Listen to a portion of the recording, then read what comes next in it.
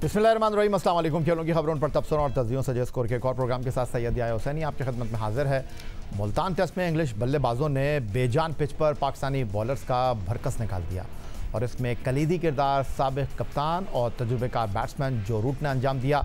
जो रूट ने इस टेस्ट मैच में एक और संग मील अबूर किया और वो इंग्लैंड के लिए टेस्ट फॉर्मेट में सबसे ज़्यादा रन बनाने वाले बैटर बन गए।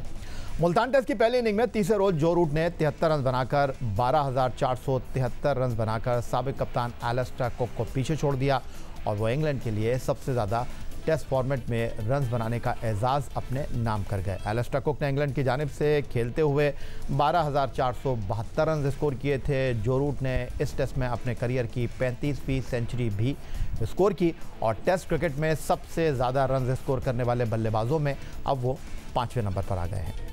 मुल्तान टेस्ट में पाकिस्तानी इनिंग के दौरान कैच पकड़ते हुए ज़ख्मी होने वाले इंग्लिश ओपनर बैन डकेट चौथे नंबर पर बैटिंग करने के लिए आए और उन्होंने जारहाना अंदाज अपनाते हुए पाकिस्तानी बॉलर्स की खूब पिटाई की। बैन डकेट ने अपने करियर की ग्यारहवीं निफ सेंचुरी स्कोर की। बाएँ हाथ के बल्लेबाज ने पिछहत्तर गेंदों पर ग्यारह चौकों की मदद से 112 के स्ट्राइक रेट से खेलते हुए चौरासी रन स्कोर किए। वो कभी कभी हम कहते हैं ना कि जहाँ ख़त्म किया था, वहीं से शुरुआत की तो शायद इंग्लिश टीम के जारहा मिजाज तीनों फॉर्मेट के दाएँ हाथ के बल्लेबाज हैरी ब्रोक ने ऐसा ही किया है। 2022 में जब वो पाकिस्तान आए थे तो तीन टेस्ट मैचों की पाँच इनिंग्स में उन्होंने चार सौ अड़सठ रन स्कोर किए थे और तिरानवे आशार्य छः सिफर उनके रन बनाने की औसत थी। तीन सेंचुरियाँ, एक सेंचुरी, निफ सेंचुरी उन्होंने स्कोर की थी और इसके बेहतरीन खिलाड़ी का एजाज़ उन्होंने हासिल किया था और इस टेस्ट मैच में वो पाँचवीं सेंचुरी बनाने वाले बल्लेबाज बने अब्दुल्ला शफीक, शान मसूद, सलमान आगा, जो रूट के बाद। तो अब हर कोई ये बात कर रहा है कि ये हाईवे है, कोई कह रहा है बेजान पिच है, कोई कह रहा है टेस्ट मैच में ऐसी पिच नहीं होनी चाहिए। तीन दिन मुल्तान टेस्ट मैच के नौ सेशन के खेल में लगभग हज़ार रन बन चुके हैं और सिर्फ़ एक इनिंग मुकम्मल हुई है। आज के मैच के हवाले से गुफ्तु करने के लिए हमारे साथ मौजूद हैं। स्टूडियो में टेस्ट फास्ट बॉलर क्रिकेट के सिकंदर सिकंदर बख्त और रोज़नामा जंग कराची के क्रिकेट कॉरस्पॉन्डेंट अब्दुल माजिद भट्टी और इस्लामाबाद से वीडियो लिंक पर हमें ज्वाइन कर रहे हैं पाकिस्तान क्रिकेट टीम के सबक टेस्ट कप्तान विकेट कीपर राशिद लतीफ़। शुरुआत राशिद आपसे ही करना चाहूँगा। ये जो गुफ्तु हो रही है कि बड़ी बेजान पिच है, हाईवे पर बैटिंग कर रहे हैं, ऐसा लग रहा है कि सड़क पर बैटिंग कर रहे हैं, मुख्तलिफ़ क्रिकेटर्स मुख्तलिफ़ अंदाज में बात कर रहे हैं। लेकिन राशिद, आपको नहीं लगता कि वक्त की ज़रूरत यही थी कि हमारी टीम ऑस्ट्रेलिया में हारी, हमारी टीम बांग्लादेश के ख़िलाफ़ अपने दामन को नाकामी से बचा नहीं सकी? लेकिन इस टेस्ट मैच में जहाँ हमने साढ़े पाँच सौ से ज़्यादा रन स्कोर किए, तीन सेंचुरियों के साथ इंग्लिश टीम ने सिर्फ़ एक दिन की बैटिंग में वो कर दिया जो हमने डेढ़ दिन की बैटिंग में किया था। तो मुकाबला आपके सामने है तो आपको नहीं लगता कि जो क्रिकेट बोर्ड की हमत अमली है कि एक बेजान पिच बनाकर इंग्लिश टीम का मुकाबला किया जाए वो ठीक है दुरुस्त है? मेरे ख्याल से जो बैट, बैटर्स की हमारी परफॉर्मेंस रही है लास्ट फाइव टेस्ट मैचेस में तीन ऑस्ट्रेलिया में और दो बांग्लादेश के खिलाफ तो बहुत अच्छी नहीं रही। और हम सारे सारे के सारे पाँचों टेस्ट मैचेस हम हार गए। और उसके बाद यही सोचा होगा कि इंग्लिश टीम आ रही है, वो तो ग्रीन पिच अगर हुई तो मुश्किल हो जाएँगी। पहले हम फ्लैट पिच पे जाते हैं और बड़े ठीक ठाक रन पाकिस्तान ने किए। लेकिन अभी भी सेफ़ नहीं है। देखिए, हमने चार सौ, साढ़े चार सौ रन करके तकरीबन बांग्लादेश के खिलाफ 448 करके भी हम टेस्ट मैच हार चुके हैं। यहाँ पे 556 रन किए हैं। लेकिन इंग्लैंड अगर बराबर कर जाता तो सेफ़ तो हम यहाँ पे भी नहीं है। क्योंकि थर्ड इनिंग्स अगर हम देखते हैं पाकिस्तान की लास्ट फाइव टेस्ट मैचेस में, अगर हम पर्थ में देखते हैं थर्ड इनिंग में हमने 89 रन किए मेलबर्न में देखते हैं 237 रन किए सिडनी में देखते हैं 115 रन किए, अगर हम रावलपिंडी में देखते हैं 146 रन किए, और उसके बाद रावलपिंडी में फिर देखते हैं 172 रन हमने किए। थर्ड इनिंग बहुत मुश्किल हो जाती है पाकिस्तान के लिए। सही है फ्लैट पिच बनाई, ज़बरदस्त। लेकिन इंग्लैंड को पता है कि फ्लैट पिच पे हम कैसे जीत सकते हैं, क्योंकि उनको एक्सपीरियंस है, उनकी मैनेजमेंट को कि जिस तरह से वो लास्ट टाइम आए थे फ्लैट पिचेस थी लंबे रन हुए थे, सात सेंचुरीज बनी थी राहुल पिंडी में, लेकिन इंग्लैंड वहाँ से जीत के निकला था, कराची और मुल्तान में भी जीत के निकला था। ये test match no doubt flat pitch है रोड पिच है, लेकिन रिज़ल्ट अभी आया नहीं है, और रिज़ल्ट मेरे ख्याल से मुझे लगता है कि रिज़ल्ट आ सकता है इस टेस्ट मैच तो आप कहना क्या चाहते हैं? राशिद हिकमत अमली ठीक थी? या हमने जो ठीक ठीक थी। लेकिन हमने, मैं ये समझता हूँ कि एक स्पिनर हमारा शॉर्ट था और इसमें हम नेगेटिव बहुत ज़्यादा चलेगा थ्रू आउट द डे देखें आप, हमने टांग से मतलब ऑन साइड पे फ़ील्ड पैक करके हम बॉल कर बॉलिंग करवा रहे हैं। रिवर्स स्विंग हो रही है तो पाँच फील्डर सिकंदर भाई सही बता सकते हैं। पाँच फील्डर थोड़ी लेंगे आप ऑन साइड पे। आप एक इन स्विंग करते हैं तेज, बाकी बाहर आप निकालते रहते हैं। आपका वेपन होता है इन स्विंग तेज, जो तेज आप करते हो। उसके लिए फ़ील्ड आप खोल देते कि वहाँ पे खेलने जाएगा। अगर सारी आपने रिवर्स स्विंग इन स्विंग ही करनी है तो बैट्समैन को तो पता है कि ये कहाँ पे बॉल करेगा। तो इस वजह से, मेरे ख्याल स्ट्रेटेजी प्लानिंग में थोड़ा प्लान नज़र आया, जिसकी वजह से इंग्लैंड को बहुत इजी हुआ रन बनाने के नो डाउट वो वैसे भी बनाते, लेकिन हमने भी हेल्प किए। चलें। राशिद लतीफ़ की गुफ्तु आपने सुनी और सिकंदर, उन्होंने आपकी तरफ़ थ्रो किया और वो ये जानना चाहते हैं कि जो हमारी बॉलिंग थी, ख़ासतौर पर तीन खिलाड़ियों को हमने आउट किया। तीसरे दिन खेल के अख्ताम पर इंग्लैंड ने पाकिस्तान की पहली इनिंग पाँच सौ छप्पन रन के जवाब में 101 ओवर की बैटिंग में जो है, वो चार सौ बानवे रन स्कोर कर लिए हैं। तीन खिलाड़ी उनके आउट हैं। बैंड डकेट, कप्तान ओले पॉप और उसके साथ जो है, वो जैक क्रॉली आउट हुए हैं और ये तीनों जो बैट्समैन हैं, ये फास्ट बॉलर ने विकटें हासिल की हैं। तो फास्ट बॉलिंग की कारकर्दगी पर आप क्या खुलासा करना चाहेंगे? अगर देखा जाए तो नौ महीने के बाद इंटरनेशनल क्रिकेट में वापसी हो रही है आमिर जमाल की। लेकिन शाहीन शाह आफरीदी और नसीम शाह के मुकाबले में वो ज़्यादा एनर्जेटिक और ज़्यादा बेहतर नज़र आए। देखिए चौंतीस ओवर के बाद उनसे उनसे बॉलिंग करवाई है। उससे पहले मतलब कल उन्होंने एक दो तीन ओवर कराए थे, उसके बाद उनसे ओवर नहीं कराए। आज पूरे वक्त वो कराते रहे, शायद वो रिवर्स स्विंग का इंतज़ार करे थे, गेंद पुराना करने का जो राशिद बात कर रहा है, मैं बिल्कुल हंड्रेड परसेंट उससे एग्री करता हूँ। हमेशा हमारे जितने भी जो स्टार फास्ट बॉलर्स रहे हैं, वो गेंद बाहर रखते रहे और फिर अचानक वो अंदर लाते थे। तेज़ स्पीड के साथ। मगर इधर जो लाइन थी उसकी आमिर जमाल की, वो बॉडी की तरफ़ थी। मतलब इन स्विंगर इन स्विंगर इधर ही कराया जा रहा था। उसमें से अगर कोई एक आधा बॉल उधर उधर हो जाता तो अलग बात थी। मैं बैठा यही देख रहा था कि मुसलसल वो बॉडी की तरफ़ गेंद करा। शायद यही वजह है उसने वहाँ ली। उनको ऑफ़ से थोड़ा सा अंदर बाहर से ही अंदर आना शुरू कर देते। स्लिप खड़ी हुई होती। तो शायद कोई थोड़ा सा मुझे उनकी लाइन समझ में नहीं आई और मज़ेदार नहीं थी। ना विकेट कीपर जो हमारे रिजवान है, उन्होंने उनको कुछ बोला, ना शान मसूद ने बोला, बल्कि उन्होंने बोला उनको ऑफ़ स्टम्प से करानी थी। उनकी बाहर नहीं निकल रही थी गेंद। रिवर्स के अंदर बाहर निकलना ज़रूरी है। जैसे राइट आर्म लेग स्पिनर होता है, वो लेग ब्रेक कराते कराते फिर गुगली मारता है। तो यहाँ पर भी इसी तरह होती है कि आप बाहर निकालें निकालें और फिर अंदर लाएँ। तो वो नहीं कर पा रहे थे। तो यही वजह है कि वो तकरीबन उन्होंने 96 ओवर के अंदर जो हमने किए थे साढ़े तीन सौ, उन्होंने कर दिए पाँच सौ। एक सौ एक सौ एक ओवर में। तो ये फ़र्क है दोनों की बैटिंग का। माजिद भट्टी साहब को भी गुफ्तु का हिस्सा बना देते हैं और आपको ये बताते चलें कि पाकिस्तान की पहली इनिंग पाँच सौ छप्पन रन के जवाब में इंग्लैंड ने मैच के तीसरे दिन मुल्तान टेस्ट मैच में खेल के अख्ताम पर 101 ओवर की बैटिंग में तीन विकटों के नुकसान पर चार सौ बानवे रन स्कोर कर लिए हैं और पाकिस्तान की पहली इनिंग को बराबर करने के लिए अब उनको इकसठ रन की ज़रूरत है।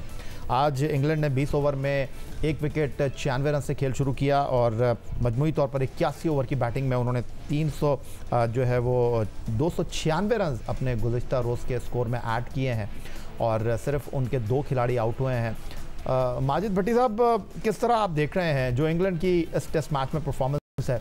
हमने डेढ़ दिन से ज़्यादा बैटिंग की और हमारे बैट्समैनों ने 50 चौके और सात छक्के मारे और अगर हम इंग्लैंड की इनिंग देखते हैं तो उन्होंने जनाब 48 चौके और एक छक्का लगाया है। लेकिन इस टेस्ट मैच में जहाँ हम सोच रहे थे कि जी, पाकिस्तान टीम ड्राइविंग सीट पर आ गई है, शान मसूद, अब्दुल्ला शफीक एंड आगा सलमान की सेंचुरियों के साथ। इंग्लैंड ने तीसरे दिन के खेल के अख्ताम पर मामला तो इस वक्त फिफ्टी फिफ्टी कर दिया।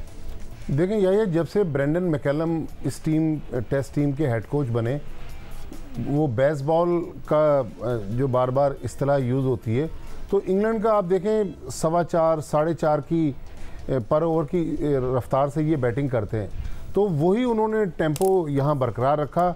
विकेट उनके आज सुबह दो गिरे, लेकिन उनकी जो स्पीड थी वो कम नहीं हुई। जबकि पाकिस्तान के आप देखें, जिस तरह सऊद शकील ने गेंदें ज़ाया की, जिस तरह पाकिस्तान ने साढ़े पाँच सौ बनाए, लेकिन हमने बॉलिंग बहुत अच्छी नहीं की। फिर कप्तानी भी देखें, आज सुबह फ़र्स्ट स्लिप में से नसीम शाह की बॉल पर कैच निकला।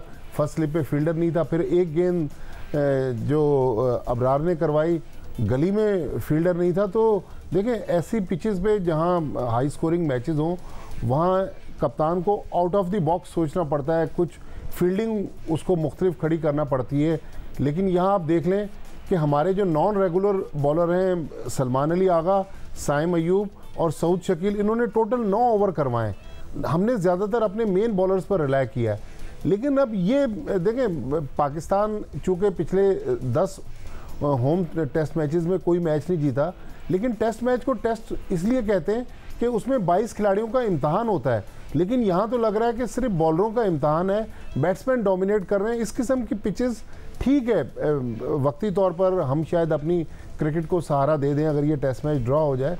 लेकिन थोड़ा सा जो इंटरेस्ट का एंगल है या इंटरेस्ट का पहलू है वो होना चाहिए। बॉलरों को मेरे ख्याल में, बॉलरों के साथ काफ़ी नाइंसाफ़ी है, जिस तरह की पिच बनाई गई है। तो राशिद बॉलर्स की बात कर रहे हैं माजिद भट्टी साहब। अगर मैं इंग्लैंड के स्पिनर की बात करूँ तो यहाँ पर 32 ओवर में 124 रन दिए शुएब बशीर ने एक खिलाड़ी को आउट करने के लिए। फिर 40 ओवर में 160 रन दिए तीन विकेटें हासिल करने के लिए जैक लीच ने। But on the other side अगर हम अपने मिस्ट्री स्पिनर अबरार अहमद की बात करते हैं तो 35 ओवर में उन्होंने एक रन दिए हैं। टोटली ऑफ़ कलर नज़र आ रहे हैं और वाज तौर पर लग रहा है कि फ़िटनेस इश्यूज़ उनके साथ हैं। जब आप परफॉर्मेंस नहीं देते तो फिर उंगलियाँ आपके ऊपर उठती हैं।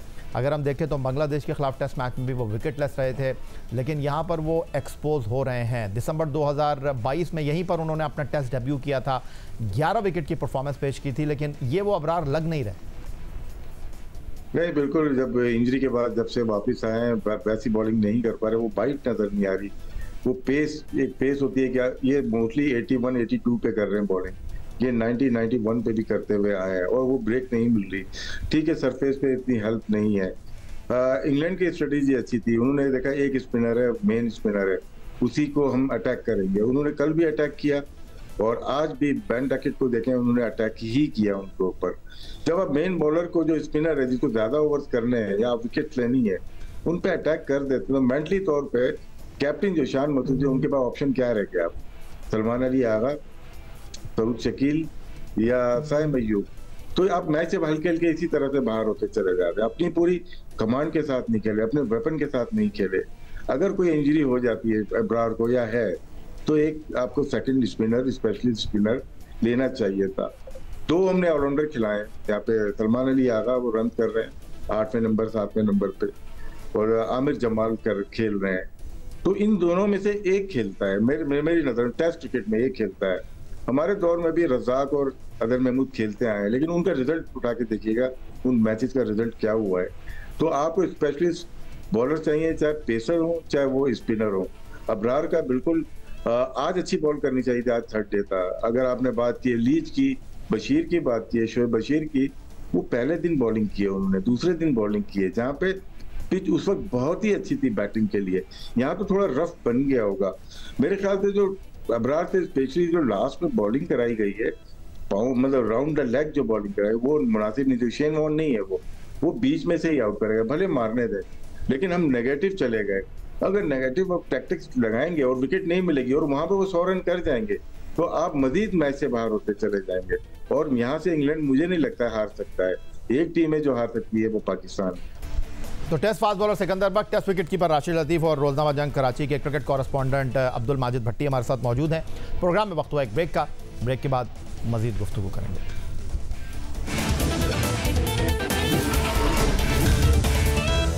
अच्छा राशिद, आपने स्पिनर की बात की और आप बार बार इस बात पर ज़ोर दे रहे हैं कि आपको इस टेस्ट मैच में दो प्रॉपर स्पिनर के साथ खेलना चाहिए था।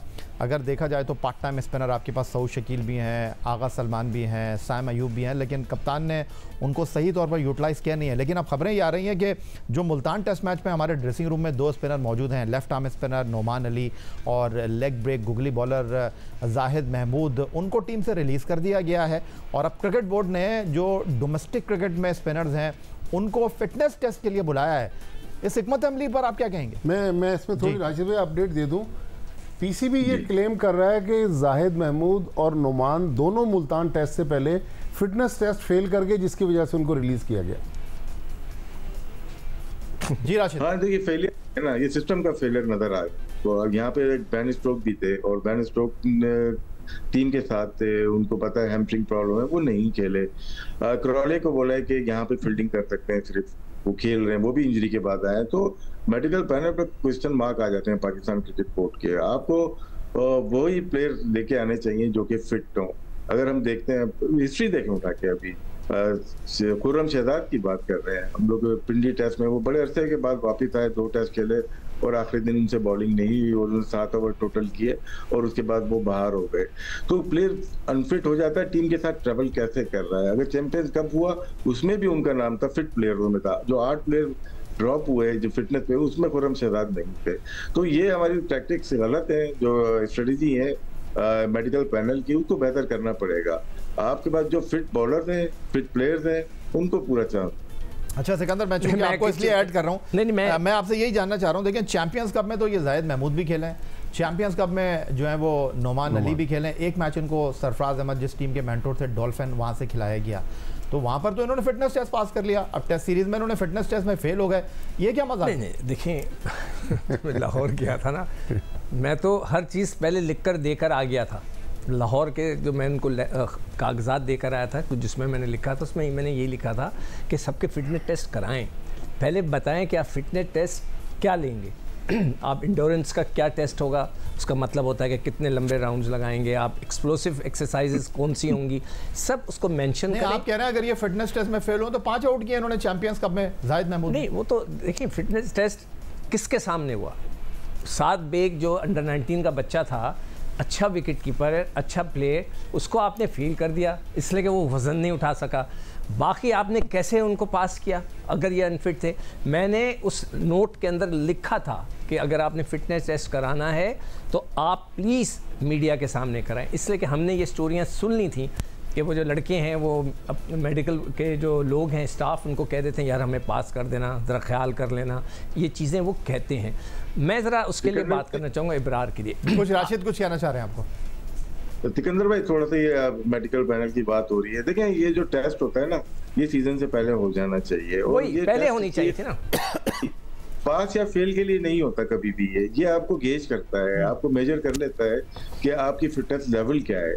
उसको कितना इनहांस करना है आपको कितनी मेहनत करनी है। हमारे यहाँ क्या डिफरेंट चीज़ है कि अगर फिटनेस थोड़ी सी लो है तो फेल हो गया, ये फिट नहीं है। ये गलत कॉन्सेप्ट दे दिया गया है। क्योंकि नॉन टेक्निकल लोग अनप्रोफेशनल लोग मेडिकल पैनल में मौजूद हैं। कभी भी इंग्लैंड में ये देखें या कहीं भी और बड़ी कंट्री में जहाँ पे अच्छी क्रिकेट खेली जा रही है, वो सिर्फ़ फिटनेस को देखते हैं। अभी मैन स्ट्रोक की बार बार मैं मिसाल दे रहा हूँ। वो ये नहीं कह रहे कि फेल हो गया फिटनेस में या फिट नहीं है। वो तो बोल रहे कि अभी इसको टाइम लगेगा, अभी इतना इतना टाइम है इसके पास। तो इसी तरीके से हमें फेल नहीं करना चाहिए किसी को भी। खुर्रम को कर दिया या जाहिद की अभी बात हो रही है नुमान की बात कर रही, हो रही है, रिजवान की अभी बात चल रही थी कि वो भी फिट नहीं है। ये बताना चाहिए कि हाँ इनका भी फिटनेस लेवल इतना हाई नहीं है। हम कोशिश कर रहे हैं। अब ट्रेनिंग सेशन फिजियोथेरापिस्ट आ जाता है, जो बाहर का है, उसके ऊपर ज़िम्मेदारी देनी चाहिए कि इनको हमें इन डेज़ के अंदर हमें फिट चाहिए। जी सर, मैं इब्रार की थोड़ी सी बात करना चाह रहा हूँ। आज बड़ा अच्छा डिस्कशन हो रहा था बिटवीन नासिर हुसैन और आतिन और दूसरे थे कि मिस्ट्री बॉलर्स कभी भी लॉन्ग टर्म नहीं रह सकते। उसकी वजह यह है कि वो किसी एक चीज़ के ऊपर फोकस नहीं होता। वो कह रहे हैं जैसे कि अगर उनकी अब पिटाई होना शुरू हो जाए जैसे कि अभी हो रही है इस बेचारे की पैंतीस में एक सौ चौहत्तर रन हाँ मतलब इब्रार की जो अपनी पिछले से चलती हुई आ रही है उसको एक तो खिलाया नहीं खिलाया नहीं साथ ट्रैवल करते गए उसके बाद फिर उस बेचारे की पिटाई होनी शुरू हो गई है पहले भी हुई। तो वो किस चीज़ पर फोकस करे? कौन सी गेंद पे करे? वो उन्होंने बड़ा अच्छा इसको डिस्क्राइब किया था, बड़ा अच्छा डिस्कशन था। मैं बड़े गौर से सुन रहा था। उन्होंने कहा, जैसे शेन वॉन है, वो लेग ब्रेक कराता है ना, अगर वहाँ से उसकी लेग ब्रेक नहीं हो रही तो कोच उसको मतलब एंगल बताएगा कि यार बाहर से कर लो, ऊपर से कर लो, मगर लेग ब्रेक करो। एंड उसकी तो इम्प्रूवमेंट हो सकती है। मिस्ट्री बॉलर की क्या हो सकती है? फिर उन्होंने दो चार नाम लिए कि ये एक मिस्ट्री बॉलर आया था फेल हो गया। कुछ अरसे के बाद ये मिस्ट्री बॉलर आए थे, वो चले गए। तो वो, उनका ये ख्याल था, जितने भी एक्सपर्ट्स बैठे थे, कि जो मिस्ट्री बॉलर है, वो लॉन्ग टर्म नहीं हो सकता। लॉन्ग टर्म जो है, वो जो रेगुलर बॉलर्स होते हैं, या तो रिस्ट स्पिनर्स हों, या फिंगर स्पिनर्स हों, वो जो है लॉन्ग टर्म जा सकते हैं मिस्ट्री बॉलर्स नहीं।